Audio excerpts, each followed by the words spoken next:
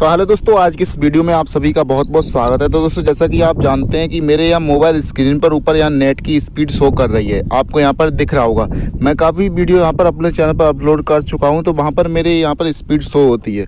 पर काफ़ी सारे लोगों के मोबाइल में ये स्पीड यहाँ पर शो नहीं होती है कि इंटरनेट की स्पीड अभी कितनी आ रही है। तो उन लोगों के लिए ये वीडियो है। उन लोगों को मैं बताऊँगा वो अपने मोबाइल फ़ोन में कैसे ये स्पीड इंडिकेटर लगा सकते हैं, जिससे वो हर समय, हर सेकेंड पर अपनी स्पीड का अंदाज़ा और पता लगा सकें। यहाँ पर आप एक चीज़ देखेंगे, यहाँ जैसे ही मैं ड्रॉप करूँगा तो यहाँ पर आपको दो तीन तरीके की स्पीड यहाँ पर आपको देखने को मिलेगी कि अपलोडिंग स्पीड और डाउनलोडिंग स्पीड दोनों स्पीड यहाँ पर आपको देखने को मिलेगी कितनी आप यहाँ पर स्पीड इस्तेमाल कर रहे हैं। तो चलिए इस वीडियो में आगे जान लेते हैं कैसे जिसके फ़ोन में ये स्पीड नहीं आती है तो वो कैसे यहाँ पर अपनी स्पीड को इंडिकेट कर सकते हैं और इंडिकेटर लगा सकते हैं। तो देर ना करते हुए इस चैनल को सब्सक्राइब करके वीडियो को लाइक कर दीजिए और चलिए हम आपको बताते हैं कि आपको करना क्या पड़ेगा। देखिए दोस्तों, जिनके फ़ोन में ये अपडेट नहीं है काफ़ी सारे जो नए फ़ोन अभी लॉन्च हो रहे हैं, उनमें ये अपडेट पहले से है, ये फीचर दिया गया है।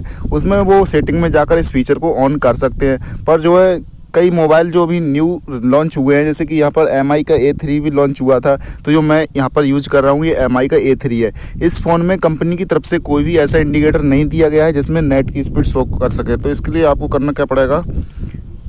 एक एप्लीकेशन आपको डाउनलोड करना पड़ेगा। इसके नाम है यहाँ पर नेट स्पीड इंडिकेटर यहाँ पर मैंने इसे डाउनलोड करके रखा हुआ है। इसलिए ये मेरी स्पीड यहाँ पर शो कर रही है। वरना मेरा एमआई का ए थ्री मोबाइल है, इसमें जो है नेट स्पीड शो नहीं करती है। तो जैसे हम यहाँ इनेबल इंडिकेटर को यहाँ पर बंद कर देते हैं तो यहाँ पर स्पीड शो होनी बंद हो जाती है ऊपर। देखिए, बंद हो चुकी है। अब यहाँ पर हम जैसे इसे ऑन करते हैं तो यहाँ पर मेरी स्पीड फिर से यहाँ पर आ जाती है। तो कुछ यही तरीका है और इस एप्लीकेशन में काफ़ी और कुछ अच्छे फीचर दिए गए हैं, जिनसे आप पता कर सकते हैं कि आप डेली कितना इंटरनेट खर्च कर चुके हैं। तो यहाँ पर आप क्या कर सकते हैं बैक आते हैं और इसको फटाफट से प्ले स्टोर में आप सर्च करेंगे नेट स्पीड इंडिकेटर आपको ये एप्लीकेशन मिल जाएगा फटाफट फटाफट जो है वहाँ से डाउनलोड कर सकते हैं और ये इंडिकेटर लगा सकते हैं अपने मोबाइल फ़ोन में। तो उम्मीद है दोस्तों, आपको वीडियो पसंद आ गया होगा। अगर वीडियो पसंद आया तो लाइक कीजिए चैनल को सब्सक्राइब कीजिए बेलाइकन को प्रेस कीजिए, क्योंकि हम आपको यहाँ पर लेटेस्ट टेक्नोलॉजी वीडियो रोज़ाना लाते रहते हैं। तो वीडियो देखकर बहुत बहुत धन्यवाद। виноват.